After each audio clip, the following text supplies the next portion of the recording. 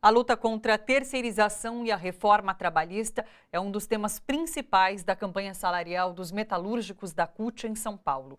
Os 200 mil trabalhadores de 13 sindicatos, representados pela Federação de Sindicatos de Metalúrgicos, também querem reajuste pela inflação e aumento real de salários. A reportagem é de Jomiag. Em meio a uma grave crise econômica e ameaças aos direitos dos trabalhadores através da reforma trabalhista, os metalúrgicos da CUT do estado de São Paulo começaram a campanha salarial 2017.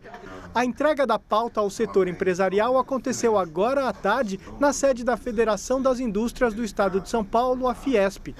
Entre as reivindicações estão reajuste pela inflação mais aumento real, redução da jornada de trabalho de 44 para 40 horas semanais sem redução de salário e mecanismos de defesa contra a terceirização. E esse ano, por conta da dificuldade econômica e política que o país atravessa, nós é, inovamos um pouco. Né? É, a pauta nossa esse ano traz é, reivindicações para tentar diminuir o impacto que o projeto de terceirização já aprovado impõe aos trabalhadores e também se precavendo se a reforma trabalhista for adiante. Os representantes dos empresários receberam a pauta e agora vão discutir com o setor patronal para depois voltar à mesa de negociações, num prazo de 15 a 20 dias. Agora a gente vai convidar os outros sindicatos para a gente tentar discutir a pauta, analisar a proposta que veio da federação, por certo dar início aí ao processo negocial com o calendário que foi proposto e com o respeito que sempre pautou essa relação. Né?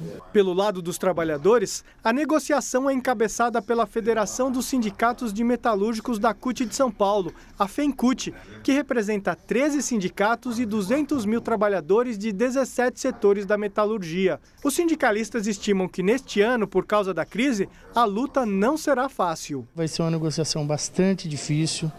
É, acredito que será uma discussão longa, tem muitas coisas incertas ainda que a gente, a cada dia você tem uma nova surpresa com relação a esse debate, mas eu acredito muito na unidade, na mobilização e na capacidade dos metalúrgicos do estado de São Paulo. As negociações entre patrões e empregados estão cada vez mais difíceis e, segundo os sindicalistas, se a chamada reforma trabalhista proposta pelo governo Temer for aprovada, a situação dos trabalhadores vai ficar ainda mais complicada. Ao mesmo tempo que essa reforma tenta enfraquecer e até acabar com o movimento sindical, cada vez mais os trabalhadores vão precisar dos sindicatos, porque a relação de forças poderá ficar mais favorável aos empresários, afirmam os sindicalistas. O objetivo nosso aqui é, é fazer e mostrar que aquilo que está sendo proposto não é benéfico para as partes colocadas.